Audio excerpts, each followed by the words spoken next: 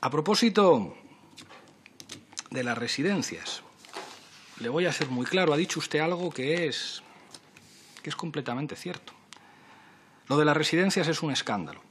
Le voy a leer a usted algo que dice el consejero de Políticas Sociales de la Comunidad de Madrid, Alberto Reyero, de Ciudadanos, un gobierno que ustedes sostienen en la Comunidad de Madrid, que no existiría sin ustedes.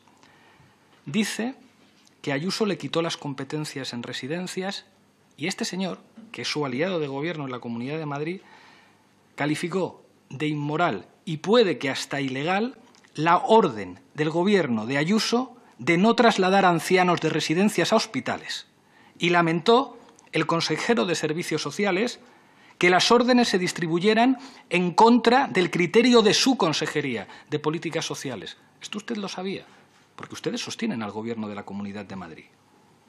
Y dijo el consejero de Ayuso estar absolutamente a favor de crear una comisión de investigación en la Asamblea de Madrid que analice la mortalidad de las residencias madrileñas durante la pandemia.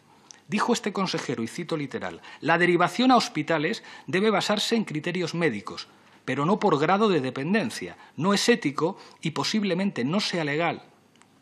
Si no era posible la derivación, habría que haber medicalizado las residencias. O el residente va al hospital o el hospital va al residente. ¿Sabe quién dijo esto?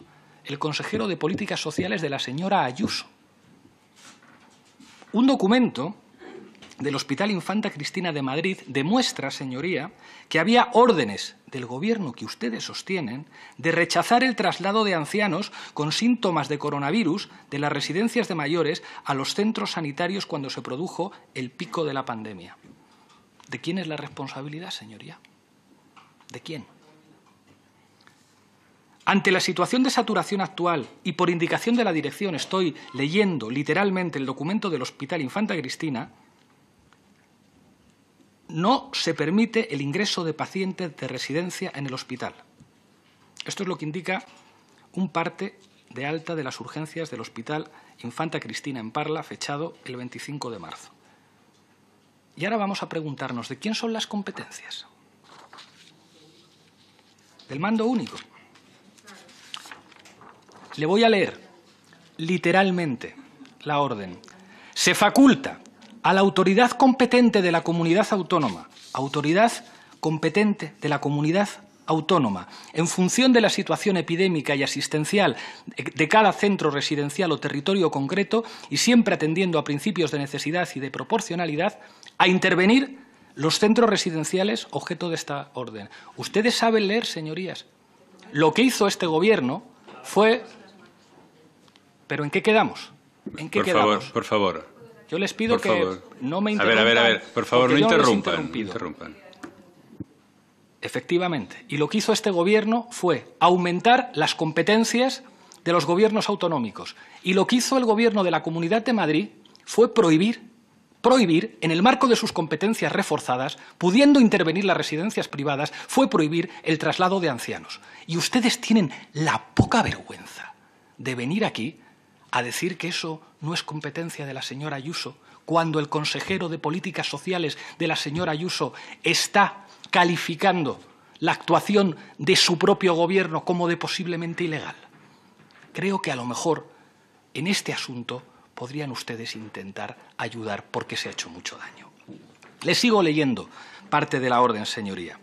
Los centros residenciales a los que se refiere esta orden quedan sujetos a la inspección de los servicios sanitarios de la comunidad autónoma correspondiente.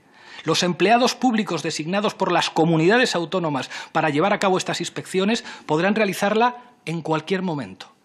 ¿Qué pasó con esas inspecciones? ¿O es que había muchos corruptos al mando de esas residencias? Se toca usted la cara, señoría, y hace usted bien. Sigo leyéndole. Efectivamente, señoría, qué poca vergüenza. Corresponde a las autoridades competentes de cada comunidad autónoma dictar, en su esfera específica de actuación, las disposiciones y resoluciones necesarias para garantizar la eficacia de lo dispuesto en la presente orden. Lo que hizo este Gobierno fue aumentar las competencias de las comunidades autónomas, darles 300 millones para contratar personal para las residencias de mayores, darles la instrucción de repartir equipos de protección individual en las residencias de mayores con el mismo criterio que en los hospitales. ¿Y qué es lo que hizo la señora Ayuso? No lo digo yo, lo dice su propio consejero de Servicios Sociales.